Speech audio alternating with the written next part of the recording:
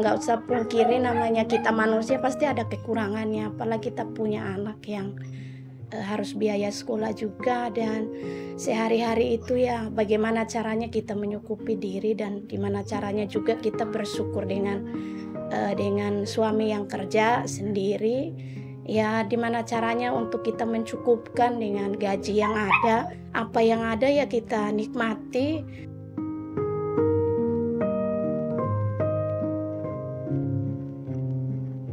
setiap penghasilan apa yang kita dapat ya awalnya ya kita syukurin aja. Segala sesuatu kalau kita awalin dengan uh, rasa terima kasih bersyukur ya mau dapat hasilnya seberapa ya kita berusaha untuk bisa mengelola dan bisa mencukupi dalam satu bulan itu soalnya nyari kerjaan sekarang untuk tetap aja kita juga susah benar. Karena posisi mungkin perusahaan-perusahaan sekarang kan nyari yang lebih muda.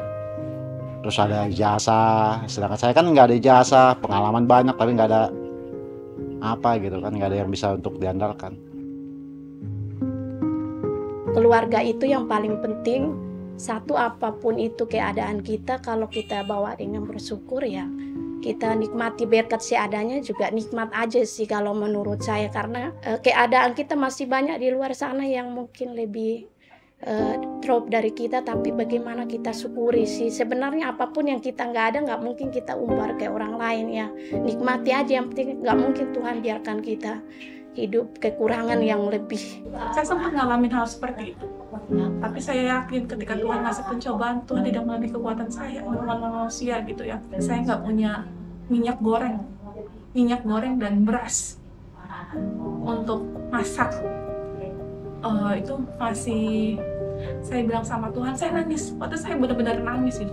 Saya ngeliat mama saya itu uangnya, saya ada uang, tapi itu untuk beli obat mama saya bilang saya harus nunggu suami saya pulang. Saya baru bisa beli sembako uh, keperluan sehari-hari. Saya bilang aduh Tuhan Tuhan mau saya punya uang segini Tuhan.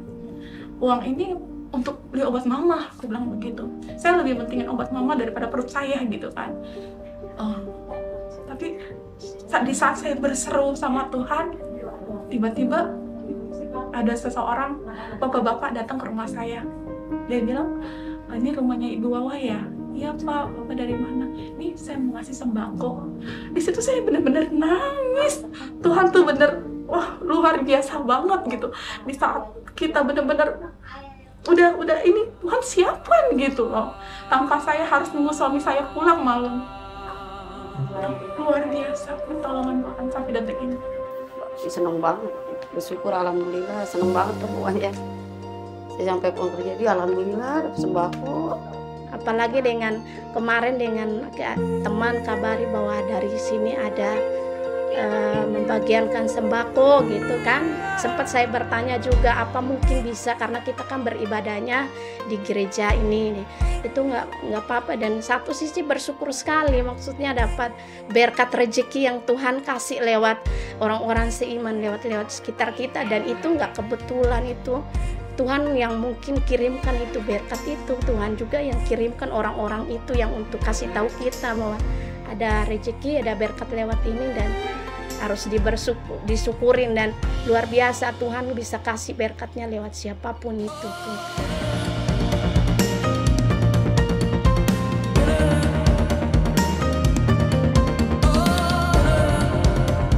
Setulus hati kami mengucapkan terima kasih kepada Bapak Ibu yang sampai saat ini masih terus mensupport program peduli sama hingga kami dapat membantu masyarakat yang membutuhkan. Dan bagi bapak ibu yang ingin terus mensupport program peduli sama dapat mengirimkannya melalui nomor rekening di bawah ini. Setulus hati kami mengucapkan terima kasih. Live a better life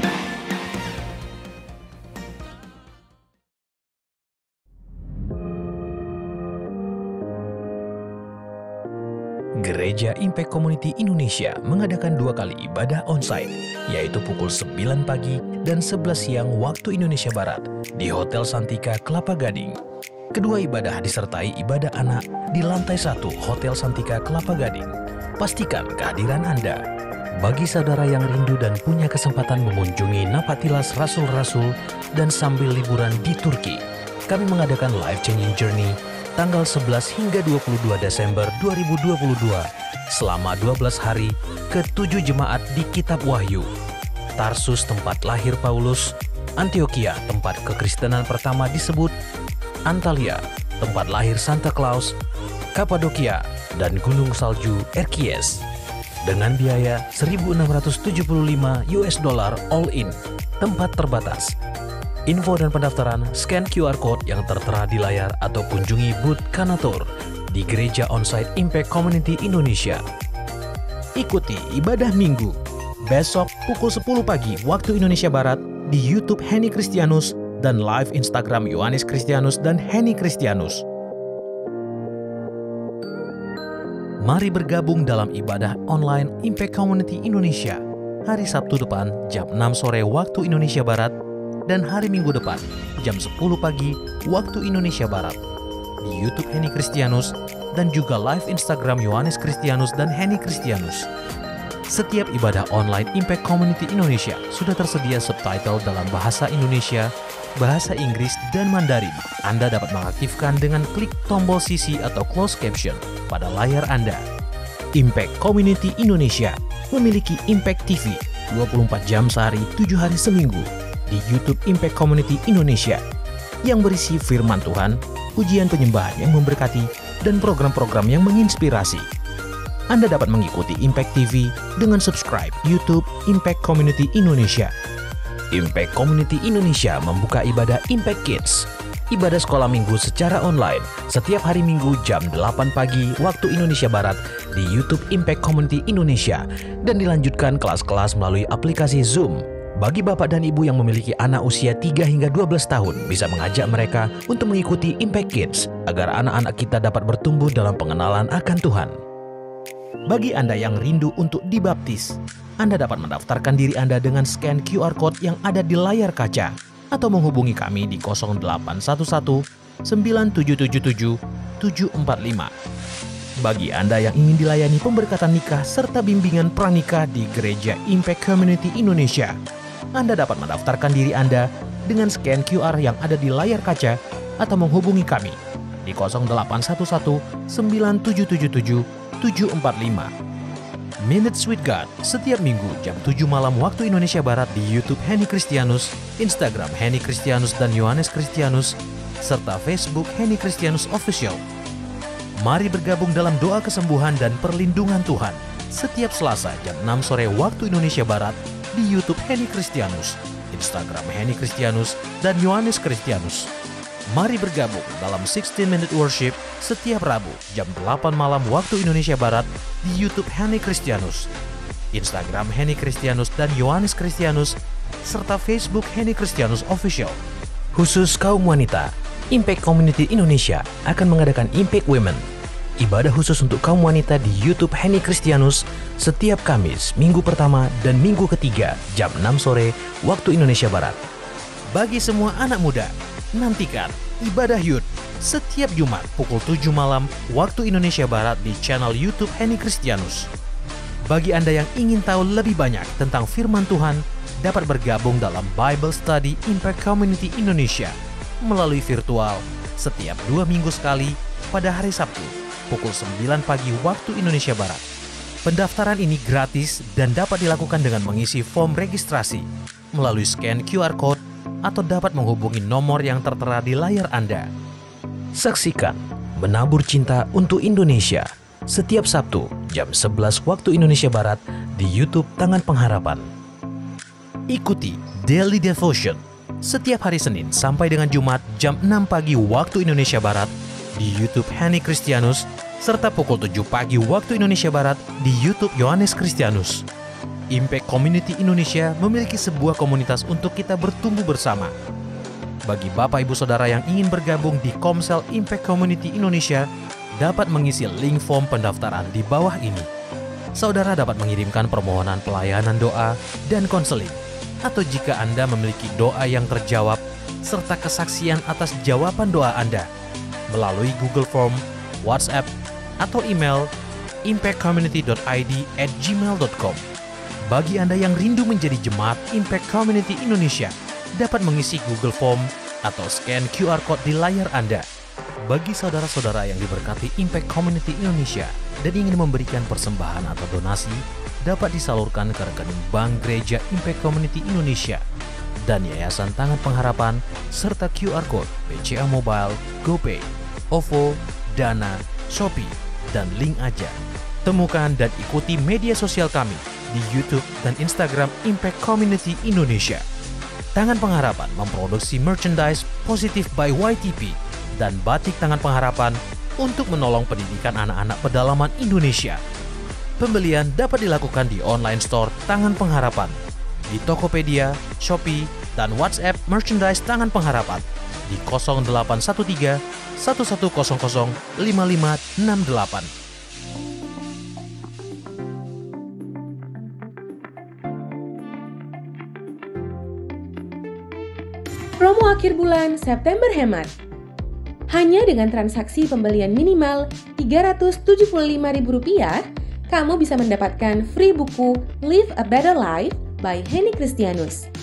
Promo buku ini tersedia mulai tanggal 25 hingga 30 September 2022. Dan promo ini berlaku di semua pembelian via Shopee, Tokopedia, dan WhatsApp. Dengan syarat dan ketentuan berlaku. Untuk informasi selengkapnya, silahkan hubungi kami dengan cara scan barcode toko kami.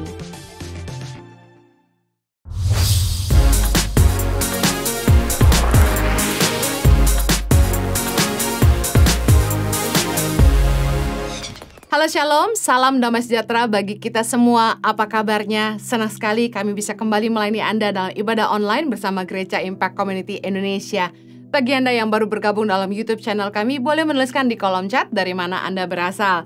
Bagi Anda yang membutuhkan subtitle, tersedia subtitle dalam bahasa Indonesia, bahasa Inggris, dan juga bahasa Mandarin. Jangan lupa bantu kami share link ibadah hari ini supaya lebih banyak orang lagi yang diberkati. Bagi Anda yang berdomisili di Jakarta dan sekitarnya, kami mengundang Bapak Ibu saudara kalian untuk bergabung bersama kami dalam ibadah tatap muka onsite. Saat ini Gereja Impact Community Indonesia sudah memulai ibadah onsite sejak bulan lalu di Kelapa Gading di Santika Hotel Mahaka Square di ibadah jam 9 pagi dan jam 11 pagi. Bagi Anda yang menginginkan informasi lebih lanjut dapat menghubungi call center kami di nomor layar kaca Anda. Bagi Bapak Ibu yang belum tergabung dalam komunitas, kami mengundang Anda untuk bergabung dalam Impact Families bersama Impact Community Indonesia, di mana Komsel ini diadakan melalui aplikasi Zoom.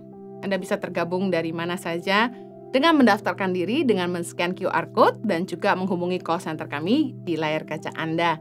Mari bertumbuh bersama-sama dan berkenalan dengan sahabat-sahabat dalam Kristus yang tinggal di seluruh pelosok Indonesia maupun bahkan di luar Indonesia. Setulus hati mengucapkan terima kasih buat taburannya bagi pelayanan Yayasan Tangan Pengharapan.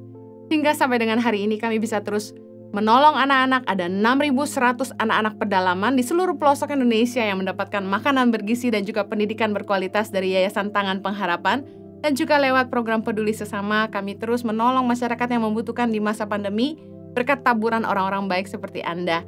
Bagi Anda yang ingin menabur bagi pelayanan Yayasan Tangan Pengharapan, Anda tahu Anda dapat membeli merchandise yaitu Positif by YTP yang seperti saya kenakan hari ini Don't Worry dan juga ada produk-produk batik Tangan Pengharapan yang Anda bisa lihat di Tokopedia maupun Shopee dengan kata kunci Tangan Pengharapan. Pemesanan juga dapat dilakukan melalui order WhatsApp di nomor call center yang tersedia di layar kaca Anda.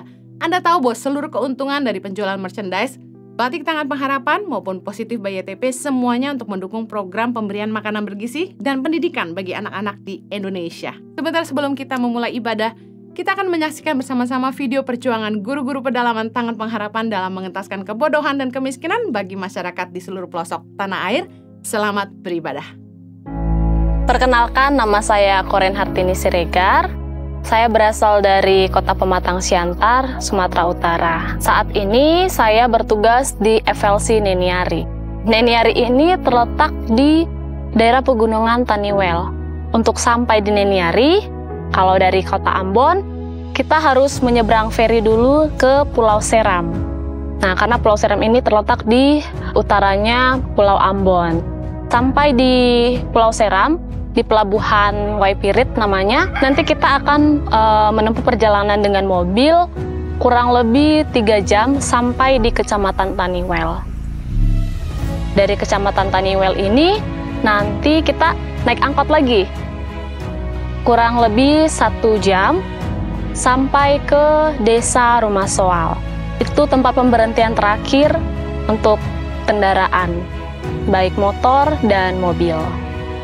Setelah dari Desa Rumah Soal ini, kita harus berjalan kaki untuk sampai ke Desa Niniari.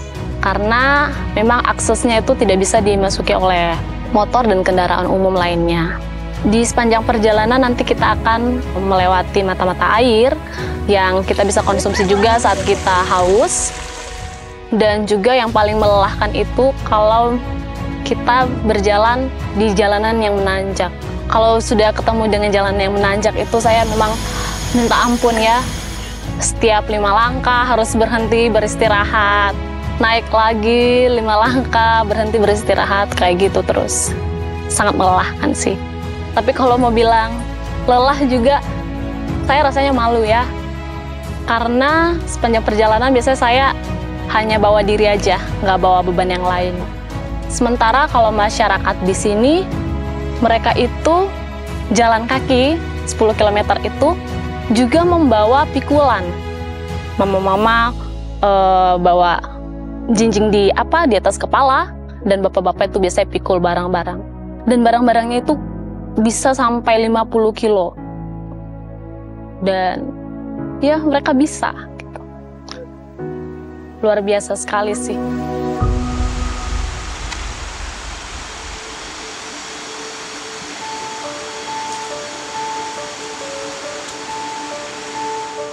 Masih ada tempat yang seperti ini gitu. Saya pikir awalnya masa sih di Indonesia masih ada jalan kaki gitu kan.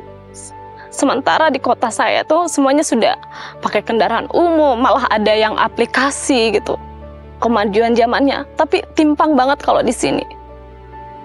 Kita hanya benar-benar harus mengandalkan kaki untuk sampai dan badan pundak kita untuk membawa barang-barang kita. Luar biasa masyarakat di sini. Berjalan kaki melewati hutan, lembah, dan sungai tak menyurutkan semangat Korin untuk bisa mengajar anak-anak di desa Neniari. Mari terus dukung kami untuk bisa menolong mereka yang jauh dari jangkauan untuk bisa mendapatkan pendidikan yang layak. Bersama kita menabur cinta untuk Indonesia.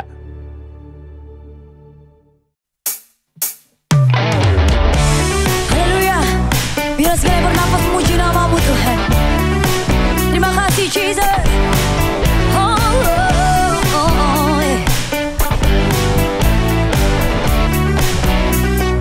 Jesus.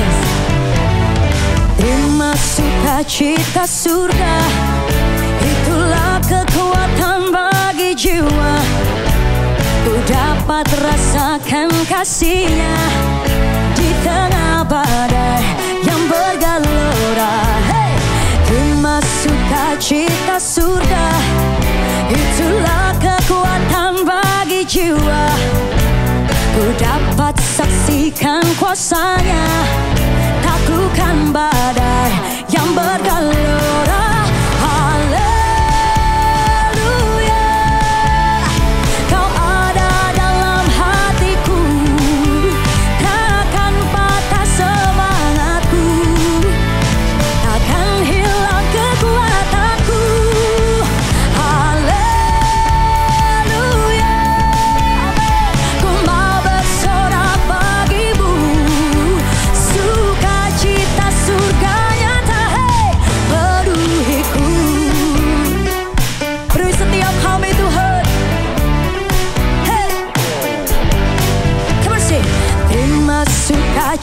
surga Itulah kekuatan bagi jiwa.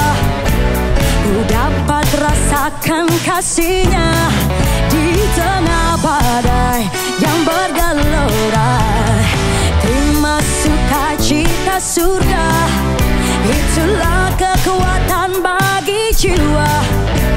Ku dapat saksikan kuasanya Taklukan badai.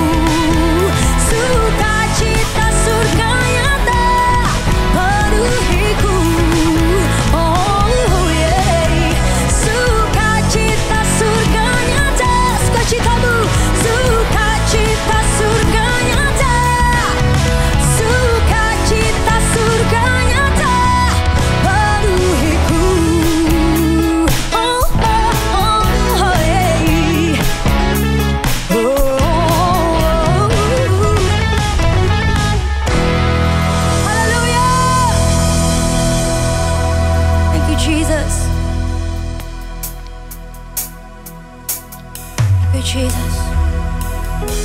Biar sekalian bernafas, Tuhan. Muji perbuatanmu yang ajaib. Kau Alfa dan Omega. Kau tetap Allah kami. Kau tetap Tuhan kami. Kau harapan kami. Kau sumber kehidupan bagi setiap kami. Thank you, Jesus.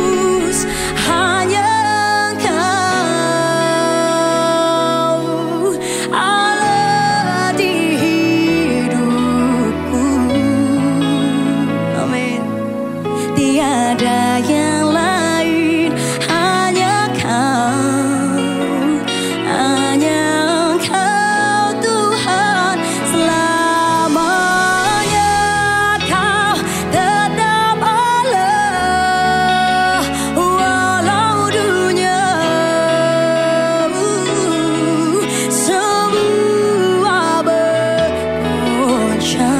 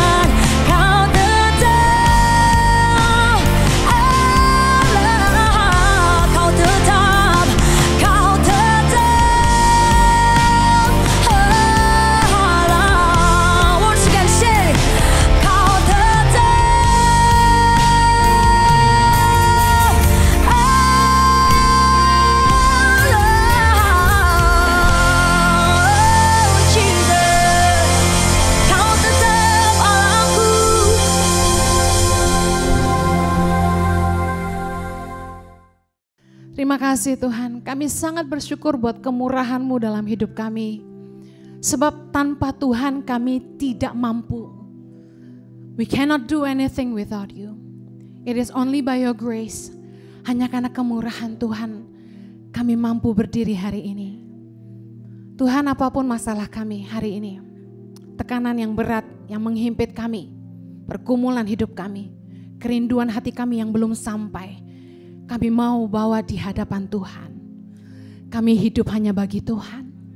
Biarlah Tuhan yang berperkara dalam hidup kami. Menolong, memimpin, menguatkan, dan meneguhkan kami. Tuhan berbicaralah buat kami lewat kebenaran firman-Mu yang memerdekakan kami. Membuat kami mengerti hati Tuhan. Ajari kami dengan bahasa yang mudah kami mengerti. Supaya kami bisa menghidupinya dalam hidup kami. Tolong kami supaya ketaatan akan kebenaran firman-Mu ada di dalam hati kami. Dan kami boleh menyerahkan hidup kami sungguh-sungguh dipimpin oleh Tuhan. Menyerahkan setiap menit ke depan ke dalam pimpinan roh kudus sepenuhnya. Tolong hambamu karena sungguh tanpa engkau hamba tidak mampu. Mensyukuri anugerahmu Tuhan. Hanya di dalam nama Yesus. Umat yang siap diberkati Tuhan sama-sama kita katakan. Amen. Silakan duduk kembali. Halo Shalom, salam damai sejahtera bagi jemaat onsite maupun juga jemaat yang online yang mendengarkan firman Tuhan ini. Saya berdoa Anda dan keluarga selalu dalam keadaan sehat, selalu dalam penyertaan Tuhan yang sempurna. Amin. Bagi Anda yang mengikuti ibadah ini secara online dan membutuhkan bantuan subtitle, tersedia, tersedia subtitle dan jangan lupa bantu kami share link ibadah hari ini supaya lebih banyak orang lagi yang diberkati. Hari ini saya akan bicara firman Tuhan dengan tema hidup dalam integritas. Saya percaya orang yang takut akan Tuhan itu akan kelihatan dari hidupnya apakah dia berintegritas atau tidak. Amin. Karena integritas itu bicara soal kebenaran dalam hati nurani. Gak ada yang tahu yang kita buat itu benar atau salah, yang kita katakan jujur atau tidak. Tapi orang yang takut akan Tuhan pasti berintegritas. Yang percaya katakan amin. Saya pernah katakan ini di khotbah yang lain, integritas adalah melakukan apa yang benar meski tidak dilihat orang. Yang membuat hidup kita itu bisa berintegritas, saya mau bagikan dua hal. Bagaimana kita belajar hidup dalam integritas. Yang pertama, kita harus menjaga hati nurani kita itu tetap murni. Kisah Rasul 24 ayat 16 berkata begini, kita baca sama-sama, ada ayatnya di layar. Sebab itu, aku senantiasa berusaha untuk hidup dengan hati nurani yang murni di hadapan Allah dan manusia. Dikatakan bahwa menjaga hidup kita dengan hati nurani yang murni itu harus diusahakan. Kita harus berusaha supaya kita senantiasa hidup dengan hati nurani yang murni baik di hadapan Allah maupun manusia integritas hanya bisa lahir dari hati nurani yang murni. Tidak melakukan apa yang jahat meski tidak ada yang lihat. Melakukan apa yang benar meskipun tidak terdengar. Tidak berbuat curang meski tidak dilihat orang. Itu integritas. Hati nurani yang murni itu pasti akan membuat kita tuh merasa tidak nyaman, gelisah, hilang damai sejahtera. Ketika kita tuh melanggar aturan, ketika kita tuh berbuat dosa, ketika kita bersalah atau berdusta, pasti hati nurani kita tuh nggak enak gitu. Nah orang yang merasakan ini berarti hati nuraninya masih murni. 1 Timotius 1 ayat 19 berkata begini, beberapa orang telah menolak hati nuraninya yang murni itu dan karena itu kandaslah iman mereka. Tahukah Anda bahwa Tuhan itu memberikan hati nurani kepada semua umat manusia supaya kita bisa membedakan yang benar dan yang salah, yang baik dan yang buruk. Saya percaya ini keadilan Tuhan baik orang yang sudah di dalam Kristus maupun belum, mereka bisa membedakan benar salah baik buruk itu sejak kecil. Anak kecil kalau dia mengambil uang mamahnya. Saya dulu pernah waktu kecil nyolong uang 10 ribu, zaman itu gede loh, buat beli permen. Permennya dari gula jawa. Uh ngambil 10 ribu itu deg-degan langsung. Ngumpet-ngumpet, lari ke warung. Terus yang punya warung si Encek tahu lagi saya nyolong. Anak kecil kok bawa duit gede amat. Mungkin Anda yang zaman now bingung. Masa 10 ribu duit gede? Zaman dulu mah duit kita cepet. Koin gitu ya, 50 perak. Jadi anak kecil beli permen 25 perak pakai duit 10 ribu tuh besar sekali. Zaman sekarang ya 100 ribu lah. Deg-degan. Padahal nggak ada tuh yang ngajarin bahwa mencuri itu dosa. Tapi kita semua pasti ngerasa salah. Pasti merasa takut kalau kita tahu kita melanggar. Nah, orang tuh kalau tahu dia salah, pasti ada rasa takut, bener gak? Kenapa? Karena kita punya hati nurani. Orang yang hati nuraninya masih murni, itu kalau berbuat salah ada rasa takut. Tapi kalau salah nggak ada takutnya, berarti hati nuraninya udah mati. Udah mokong, bebal. Contoh, nerobos lampu merah. Deg-degan, tangan dingin. Langsung lihat kaca spion, gemeteran. Ada polisi nggak? Ada polisi nggak? Hati nurani menuduh kita. Orang kalau punya konflik sama sesama, apalagi sama mertua, takut ketemu. Menghindar biasanya, bener gak? Ketemu di mall pura-pura gak lihat. Ya, kenapa? Karena kita punya hati nurani. Orang kalau mulai tidak berintegritas di tempat kerja, mencuri, malas misalnya. Mereka langsung takut tuh ketahuan sama bosnya. Apalagi kalau bosnya ke kantor, dia pura-pura ke toilet biar gak ketemu. Justru saya curiga tuh sama staff yang suka menjauhi saya. Tapi kalau staff yang gak punya salah, dia gak takut ketemu saya, malah nyariin saya. Tapi kalau staff yang malas gitu ya, ngumpet-ngumpet gak kerja, wah ini ada apa ini ya. Di tangan pengharapan gak ada ya, di tempat lain banyak. Orang kalau selingkuh pasti takut ketahuan pasangannya, benar gak? Karena dia pasti punya hati nurani. Tapi kalau sampai nggak takut sama pasangan, selingkuh dibawa pulang ke rumah, apalagi berbuat di ranjang sendiri, itu mah udah edun, ya. Hati nuraninya udah mati. Orang yang menipu orang lain, bawa kabur duit kayak yang baru-baru ini ya, banyak ya perusahaan-perusahaan investasi bodong. Kabur kan tuh, mau ditangkap sama pemerintah, kabur. Hilang tak ke mana, mungkin balik nama karena duitnya banyak di Swiss dan lain-lain. Gak bisa ke. Tapi saya percaya duit lu boleh banyak, hidup lu gak akan tenang. Karena orang punya hati nurani. Hal-hal seperti ini, dosa yang ditutupi, pelanggaran, pacaran kucing-kucingan sama orang tua gitu ya. Pasti bikin stresnya luar biasa. Waktu lagi berbuat dosa, asoy-asoy. Tapi begitu pulang, dar-der-dor. Tahu nggak Anda bahwa kalau kita tuh stres, akan memicu hormon kortisol dan hormon-hormon lainnya yang mengakibatkan orang tuh salah satu gejalanya nih. Gelisah, cemas, tidak tenang, gemetar, keringat dingin, telapak tangan basah, jantung berdetak lebih cepat, tekanan darah naik, sesak nafas, susah konsentrasi, depresi, panic attack. Sebenarnya gampang, selidiki aja akarnya apa, beresin. Mengeraskan hati, menolak hati nurani, menolak untuk taat, malah berusaha menutupi dosa daripada bertobat, akhirnya akan mencemarkan dan menulihkan hati nurani kita. Kita bisa lihat banyak orang yang sampai bunuh orang gak rasa salah. Itu karena constantly, secara konsisten dia mengeraskan hatinya. Apalagi kalau udah pahit tuh ya, gak mau ngampunin, tuh keras hati itu. Kemudian mulai nolak. Begitu hati nurani bilang ampuni aja. Suara roh kudus kan dalam hati nurani kita kan. Kalau kita orang percaya ada roh kudus. Ditolak terus tidak mau taat. Tahu kebenaran firman tapi tetap menolak. Pendeta khotbah dibilang pendeta salah. Gitu. Firman Tuhan berkata mulai pilih-pilih khotbah yang menyenangkan telinga. Itu orang-orang yang sudah menulikan hati nurani. Dengar baik. Hal-hal ini yang mengakibatkan hati nurani kita bukan hanya menjadi tuli, tapi kita mencemarkan hati nurani kita.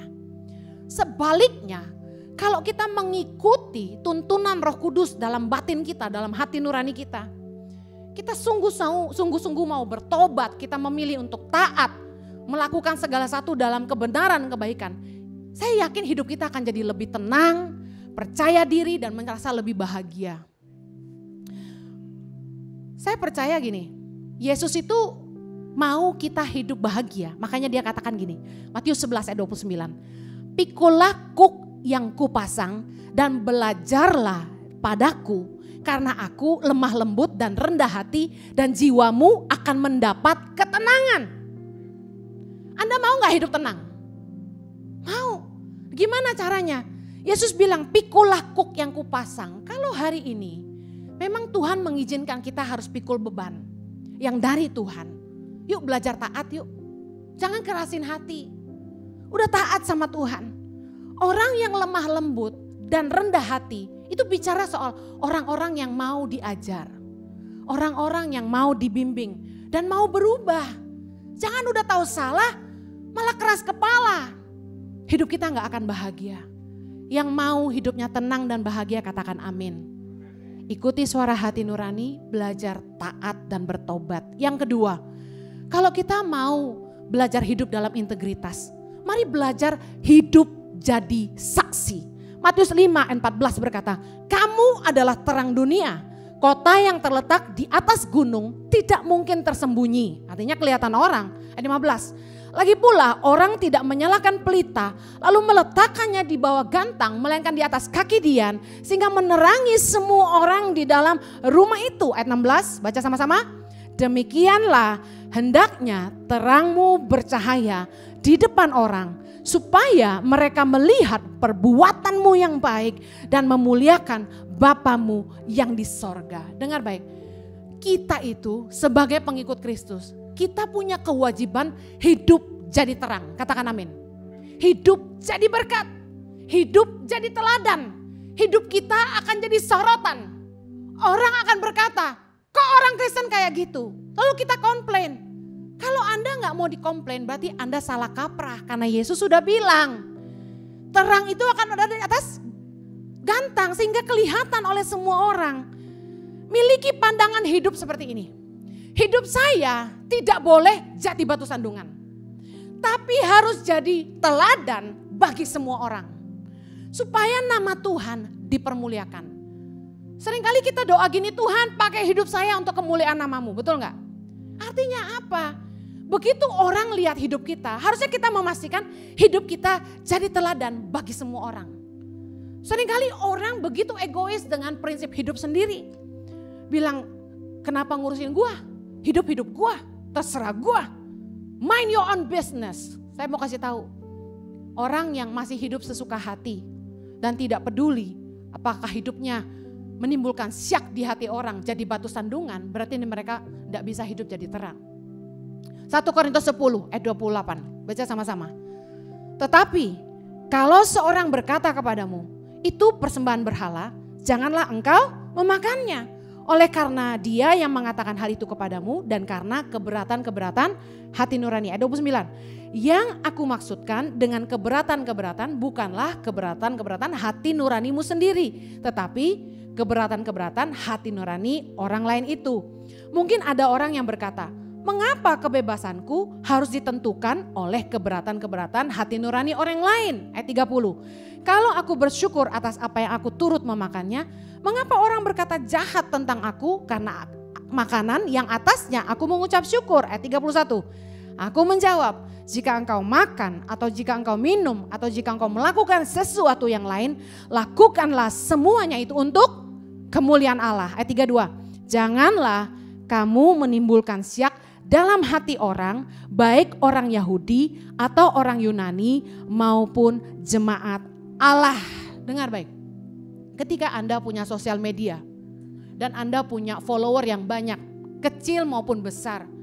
Pokoknya punya follower aja. Dengar baik, Anda punya tanggung jawab jadi terang. Pastikan postingan Anda menginspirasi, membuat orang diberkati, dibangun, berpikir lebih baik, meneladani hidup yang baik yang Anda cerminkan. Saya nggak larang Anda minum wine. Saya tidak larang Anda minum bir. Tapi jangan mabuk-mabukan. Saya pernah khotbah tentang minum boleh, mabuk jangan. Saya ajarin anak-anak eh, muda, kamu kalau sampai minum dan mabuk berarti kamu nggak bisa minum. Jangan minum. Minum itu tujuannya apa? Harus ngerti. Anggur itu untuk kesehatan. Rasul Paulus mengajarkan minum anggur sedikit untuk pencernaan terganggu dan ketika badan sedang lemah. Bahasa Chinese-nya siapo. Kita masak pakai wine, arak. Nah, itu bukan buat mabuk-mabukan. Kalau udah sampai mabuk itu dosa. Nah orang nggak ngerti minum, minum, minum. Saya mau bilang gini, saya tidak larang Anda minum. Tapi ketika Anda posting, apalagi Anda seorang pemimpin, Anda seorang hamba Tuhan, Anda posting di sosial media, anggaplah ini bir di tangan Anda, cheers, kelihatannya cool, gaul. Saya kasih tahu, yang follow Anda sedang Anda kasih tahu gini, minum-minum yuk, kalau Anda cukup dewasa, bisa membatasi diri, oke okay, minum gak boleh sampai mabuk. Minum sedikit untuk kesehatan. Just for apa ya, courtesy. Tamu kita minum bir, kita ladenin misalnya gitu. Ah sekedar mau coba-coba. Tapi bagaimana dengan follower yang gak cukup dewasa rohani untuk mengerti itu? Kita jadi batu sandungan, bisa paham? Lalu orang mulai bilang, orang Kristen kok minum-minum bir? Orang Kristen kok minum wine? Oh, itu yang disebut Rasul Paulus bukan keberatan hati nuranimu, tapi keberatan hati nurani orang lain. Kok kita mesti peduli? Kita harus peduli. Karena hidup kita harus jadi terang. Contoh, saya nggak larang Anda pakai baju seksi. Seriously, I don't mind. Kalau Anda berbodi bagus dan Anda mau bilang gini, rugi gue udah nge-gym, udah ngangkat besi, udah diet gak dipamerin. Silakan, go ahead. Tapi let me ask you, itu jadi berkat nggak? Karena yang saya tahu di sosial media semakin seksi makin banyak followernya. Tuh, Bapak juga ikut beberapa ya. Oh, ngaku dia. It's okay. Seriously, saya sebagai perempuan aja seneng lihat cewek seksi. Apalagi laki-laki. Tapi masalahnya gini, jadi berkat nggak? Kalau nggak jadi berkat, malah membuat sense of uh, sexual arousement, jadi kayak membangkitkan gairah laki-laki jomblo. Kemudian foto Anda dipasang, maaf di kloset, dipakai untuk apa? Onani. That's not good. Jadi masalah soal kebebasan dan kemudian tanggung jawab untuk jadi terang, ini hanya pertimbangan hati nurani. Is it okay to do this? Zaman sekarang ini semua serba pamer soal merek misalnya. Ingat ya, saya pernah khotbah tentang hidup kita tidak ditentukan oleh label-label dunia. Saya tidak akan pamer-pamer tas mahal yang saya punya. Kata firman Tuhan, hendaklah seorang hamba Tuhan itu hidup berpadan dengan panggilannya. Saya punya nggak tas mahal? Punya lagi Bapak Ibu. Kenapa? Karena keluarga saya mampu. Mama saya kasih, koko saya kasih, mama angkat saya kasih. Saya cuma ngomong, ah mau cari tas pinggang langsung dibeliin. Saya mau kasih tahu gini, saya punya apa pun saya nggak pernah pamer. Makanya orang bilang gini, ah Bu Heni mau pendeta sederhana yang dipakai jualannya, nggak apa-apa. Kecuali yang saya pakai sekarang ya guys. Ini tidak dijual. Nah, makanya saya suka onsite kenapa? Yeay, baju gue udah banyak di lemari yang gak pernah dipakai. Kalau tapping di studio diwajibkan pakai kaos tangan pengharapan dan batik tangan pengharapan. Bukannya saya nggak suka, cuma kasihan baju-baju saya gitu nggak dipakai. Kita boleh hidup sesuka hati kita. Tapi selalu bertanya, jadi berkat nggak? Kalau saya akhir-akhirnya masuk ke Instagram yang suka koreksi hamba-hamba Tuhan bermewah-mewah itu, yang sampai labelnya apa, harganya berapa disebut-sebut, saya nggak mau. Ngapain? It's not funny, nggak jadi berkat. Bisa paham ya yang saya jelaskan. Jadi hal yang penting waktu kita mau jaga hati nurani kita muri adalah yuk hidup tuh jadi saksi. Sehingga kita selalu mempertimbangkan keberatan hati nurani bukan cuma kita tapi orang lain. Kalau bertengkar jangan di depan anak, jangan di depan orang. Masa rumah tangga nggak ada konflik? Bohong. Tapi kalau bertengkar, jangan dibesar-besarkan. Kenapa kita harus mengendalikan emosi supaya kita nggak jadi batu sandungan? Anda tahu dong di airport, di jalan, banyak orang-orang yang bikin kita darah tinggi. Tapi saya selalu bilang, tenang, hati-hati.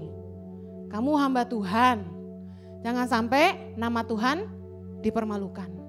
Kita harus jaga. Kemarin kami antar anak-anak sekolah, suami saya dan mama saya ngantri di line yang untuk prioritas kebutuhan khusus.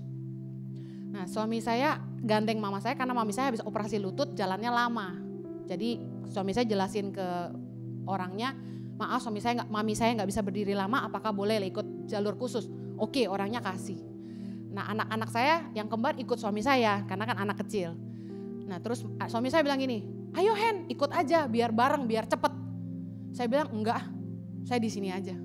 Kan kamu udah nganterin mama, saya di jalur ini aja. Karena jalur itu jalur ekonomi, saya nggak naik bisnis kelas guys. jalur ekonomi saya duduk kursi belakang, jadi saya ngantri. Suami saya bilang nggak apa-apa, orangnya izinin. Saya bilang kan udah ada kamu sama anak-anak, udah rame banget tuh berempat. Enggak apa-apa sih di sini aja. Suami saya liatin saya, ayo. Bukan gak taat suami ya, tapi saya taat aturan. Saya nggak bisa gitu kalau yang kayak gitu-gitu aji mumpung, langgar-langgar gitu. Kayak hati nurani saya nggak enak gitu loh. Kalau gini, ketika kita ingin jadi saksi, jangan-jangan ada di antara antrian penumpang itu kenal saya.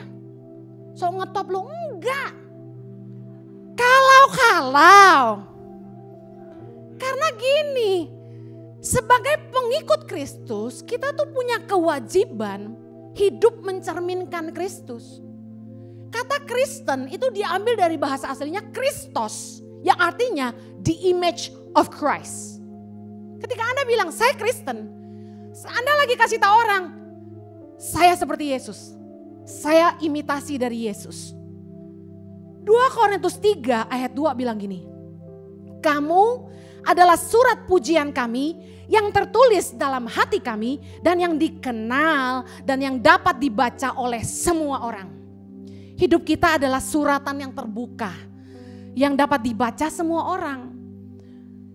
Integritas yang lahir dari hati nurani yang murni akan mendesak kita terus untuk memberi teladan, menjadi saksi kebenaran Meskipun kita punya peluang yang lebih menguntungkan atau jalan yang lebih mempermudah.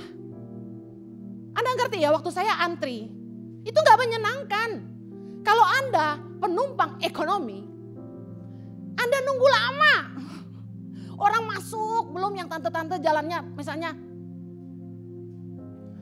Dia bisnis kelas, ekonomi lebih lama lagi nunggunya. Tapi saya tahu kalau saya ikut mama saya, saya dapat jalur cepat. Tapi itu nggak berintegritas karena sudah ada menantu yang baik, yang ganteng, yang gandeng dia. Kalau cucu masih kecil, oke okay, masih ikut.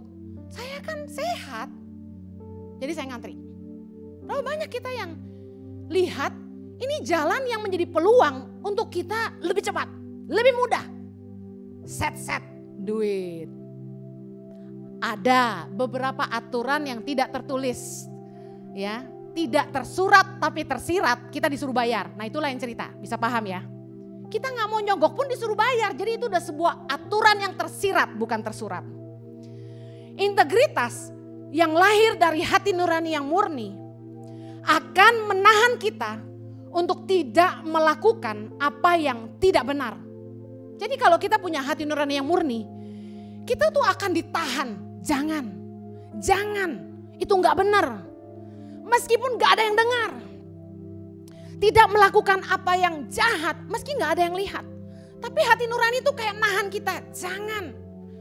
Ketika kita tidak berintegritas dan kita menjadi batu sandungan yang melukai hati nurani orang-orang yang lemah, kata firman Tuhan. Dikatakan tadi, pada hakikatnya kita telah berdosa kepada Kristus. Karena apa? Karena Kristus juga telah mati buat mereka. Yesus mati bukan cuma buat kita, tapi buat mereka. Jangan sampai mereka yang baru kenal Tuhan jadi tersandung gara-gara hidup kita. Kadang-kadang ada beberapa orang tuh yang bikin kita kehilangan kesabaran dan kita pengen marah. Anda percaya saya galak gak? Percaya, karena khotbahnya marah-marah. Tapi aslinya dalam kehidupan, waktu saya ngadepin orang, saya lebih sabar. Karena apa? Mau marah, pikir cara yang lebih baik. Kenapa? Kalau sampai saya salah kata, saya akan jadi batu sandungan buat mereka. Bu Heni cuma bisa khotbah doang, aslinya nggak ada kasih. Kalau Anda mau tahu aslinya saya, tanya tahu saya aja. Saya bisa marah, tapi saya tidak akan merendahkan mereka. Saya jaga banget kata-kata supaya orang tuh nggak terluka sampai kita jadi batu sandungan buat mereka. Kita cukup kasih tahu mereka salah, selesai. 1 Korintus 8 ayat 9. Baca sama-sama yuk. Tetapi jagalah supaya kebebasanmu ini jangan menjadi batu sandungan bagi mereka yang lemah.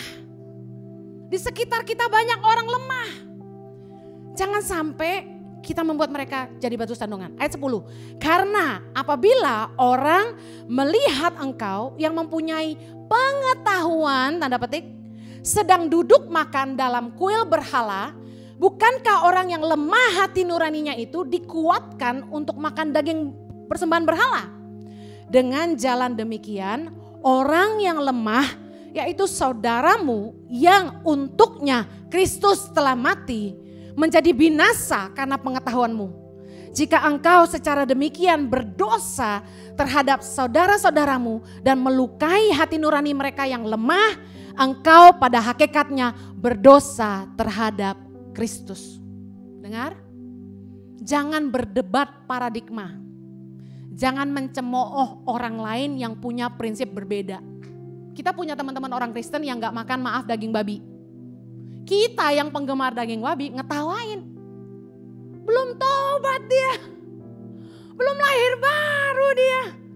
Paradigma lama. Kok gak makan babi? Gak tahu. Itu sorga katanya gitu. Kolesterol bos. ya. Dengar baik. Kita nggak perlu berdebat paradigma. Menurut saya kebenaran itu seperti ini. Harusnya kita begini, nggak usah. Kalau paradigma kita bukannya membangun, malah jadi batu sandungan buat orang, itu artinya bukan kebenaran, itu kebenaran diri sendiri. Mari kita hidup jadi saksi supaya integritas tetap ada dalam hati. Amen. Saya mau akhiri dengan ini. Waktu kita tuh lahir baru, waktu kita bertobat, kita terima Yesus sebagai Tuhan dan Juru Selamat. Tahukah Anda bahwa hal pertama yang Roh Kudus kerjakan dalam hidup kita adalah memperbarui hati kita. 1 Petrus 3 ayat 21. Juga kamu sekarang diselamatkan oleh kiasannya yaitu baptisan. Bukan maksudnya bukan untuk membersihkan kenajisan jasmani, melainkan untuk memohonkan hati nurani yang baik kepada Allah oleh kebangkitan Yesus Kristus. Satu lagi, Yeskiel 36 ayat 26 kamu akan kuberikan hati yang baru dan roh yang baru di dalam batinmu. Dan aku akan menjauhkan dari tubuhmu hati yang keras dan kuberikan kepadamu hati yang taat. Mari kita datang sama Tuhan. Setelah ini kita akan berdoa. Mari minta sama Tuhan gini. Tuhan kasih saya hati yang baru. Supaya saya belajar hidup lagi dipimpin oleh rohmu. Karena mungkin karena kecemaran-kecemaran dunia. Karena kita ikut prinsip-prinsip dunia.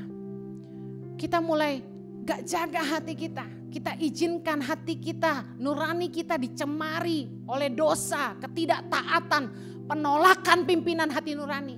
Yang sering kali dengan suara yang begitu lembut mengingatkan kita. Hati kita sudah cemar. Sehingga hidup kita pun sudah tidak peka lagi sama tuntunan Tuhan cinta uang yang membuat kita merasa hidup begitu sulit padahal sebenarnya Tuhan setia menyertai kita. Mari yang kita bersihkan itu hati kita dulu. Buat Tuhan memberkati kita tuh gampang. Tapi sebenarnya yang Tuhan sedang ingin kerjakan adalah gini. Kita sadar bahwa uang bukan segalanya, tapi Tuhanlah segalanya. Amen. Mari minta hati kita dibersihkan Tuhan. Saya akhiri bagaimana kita menjaga integritas dalam hati Jaga hati nurani kita tetap murni. Belajar taat, mari sungguh-sungguh bertobat.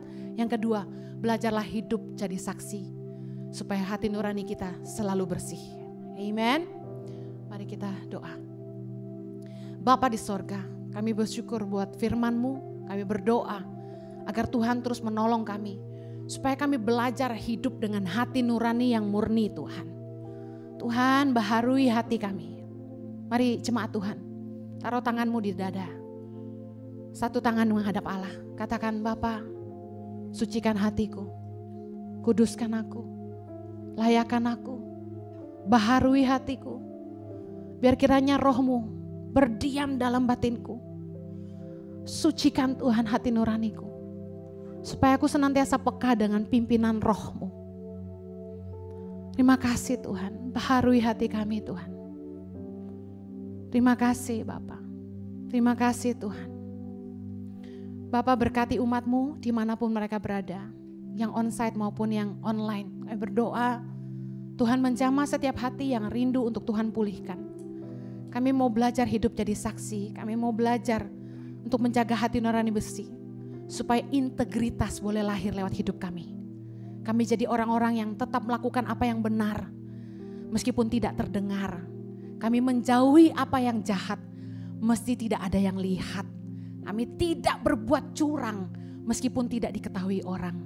Tuhan tolong kami. Tolong kami Tuhan.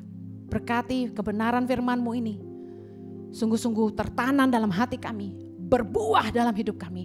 Di dalam nama Yesus. Tuhan dipermuliakan dalam hidup kami. Yang diberkati Tuhan sama-sama kita katakan. Amen. Have a blessed Sunday.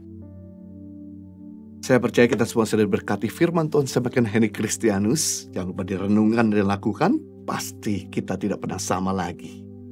Dalam kesempatan ini kami ingin memberikan pengumuman mari bergabung dalam ibadah Impact Community Indonesia hari Minggu besok tanggal 17 September jam 10 pagi waktu Barat. Persuasif akan dilayani oleh Bobby Febian. Ibadah besok pasti kita akan diberkati. Mari bergabung juga dalam ibadah Impact Community Indonesia hari Sabtu depan tanggal 24 September jam 6 sore waktu sebagian Barat dan hari Minggu depan tanggal 25 September jam 10 pagi waktu sebagian Barat persuasif akan dilayani oleh Elvis Ferdinand. Akan diadakan kembali baptisan air pada hari Jumat besok tanggal 31 September jam 5 sore waktu sebagian Barat di Kelapa Gading Jakarta Utara bagi saudara yang rindu dibaptis dan Anda belum dibaptis seperti yang Yesus lakukan anda bisa segera mendaftarkan diri Anda dengan scan QR Code yang ada di layar kaca atau menghubungi kami. Pasti admin kami akan segera merespon saudara. Bagi saudara yang ingin bertumbuh di dalam komunitas rohani, Anda belum ikut Komsa, kami punya ibadah Impact Family di mana fellowship keluarga rohani ini diadakan dua minggu sekali melalui aplikasi Zoom. Jadi Anda bisa mengikuti dari berbagai kota dan bahkan negara yang berbeda untuk kita terhubung bersama-sama dalam komunitas yang sehat. Bagi Anda yang rindu ikut Komsel Impact Komunitas Indonesia, Anda bisa mendaftarkan diri Anda dengan scan QR Code atau menghubungi kami. Bagi saudara yang tinggal di Jakarta dan sekitarnya, atau Anda sedang mampir, sedang ada di kota Jakarta di hari Minggu, kami mengundang saudara untuk hadir dalam ibadah on-site Impact Community Indonesia setiap hari Minggu jam 9 pagi sebagian Barat dan jam 11 pagi sebagian Barat di Hotel Santika Kelapa Gading. For more info, Anda bisa menghubungi kami. Kami tunggu kehadiran saudara. Bagi saudara yang diberkati dalam ibadah Impact Community Indonesia, dan saudara ingin memberikan persembahan, perpuluhan, ataupun donasi, Anda diberi kesempatan untuk menyalurkan bantuan ataupun juga persembahan Bapak Ibu pada nomor rekening yang ada di kaca. Kami berterima kasih atas support dan dukungan Bapak Ibu karena melalui bantuan saudara, di mana kita bisa terus menguatkan mereka yang sedang dalam keadaan berkekurangan. Kita juga bisa terus menjalankan ibadah ini dari minggu demi minggu dan bahkan juga tengah minggu sehingga lebih banyak lagi orang mengalami lawatan Tuhan dan mereka dimuridkan menjadi murid-murid Kristus yang bertumbuh. Kami berdoa setiap benih yang sudah tabur Tuhan kembalikan berlipat kali ganda. Mari kita satukan hati kita untuk berdoa bersama-sama. Bapak dan terima kasih buat ibadah Impact Community Indonesia di mana hari ini kami boleh bersama-sama mengikutinya. Biarlah Tuhan juga boleh menolong setiap umatmu yang dalam keadaan kurang sehat hari ini. Hamba berdoa biar kau boleh sembuhkan mereka. Kami perintahkan segala sakit penyakit pergi dan keluar di dalam nama Tuhan Yesus Kristus. Saat ini kuasa mujizat kesembuhan boleh mengalir bagi umatmu yang dalam kondisi sakit. Sehingga mereka yang fisiknya lemah menjadi pulih. Di dalam nama Tuhan Yesus penyakit ini tidak mendatangkan bahaya. Baik diri umatmu maupun orang lain dan penyakit ini akan mendatangkan kemuliaan bagi nama Tuhan. Hamba berdoa buat umatmu yang saat ini juga sedang berkekurangan biar Tuhan cukupkan segala kebutuhan mereka. Biar Tuhan penuhi kekayaan kemuliaanmu.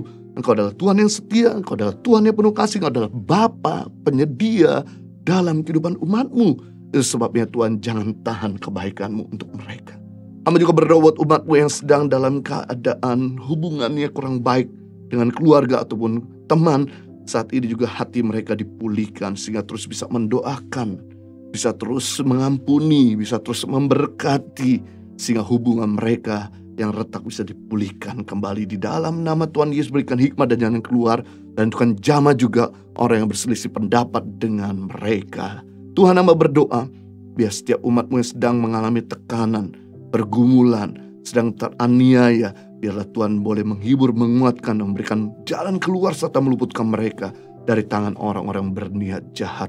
Hamba juga berdoa buat bangsa Indonesia agar Tuhan melindungi negara ini dari pemaparan COVID-19 serta juga teroris yang hendak menghancurkan negara kami, bikin kacau balau, bahkan juga peredaran narkoba, korupsi. Tuhan hindari mereka yang niat untuk merusak negara ini.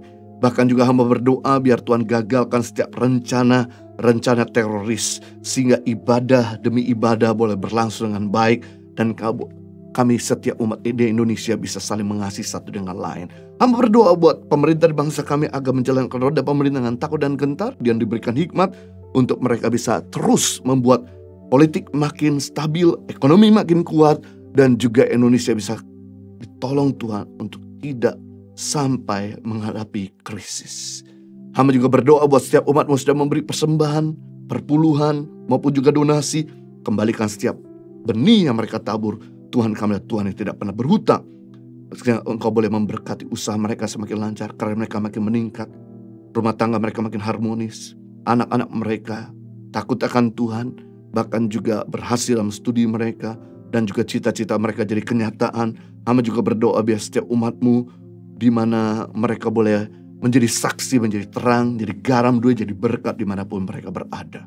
Mari kita angkat tangan kita beri berkat daripada Tuhan. Kerajaan Tuhan memberkati engkau berlimpah-limpah, memperluas darahmu ke kanan kiri, mengangkat karirmu tinggi-tinggi, setiap usaha berhasil dan studimu tidak ada yang gagal. Dan setiap perencanaanmu ada campur tangan Tuhan yang menyertainya.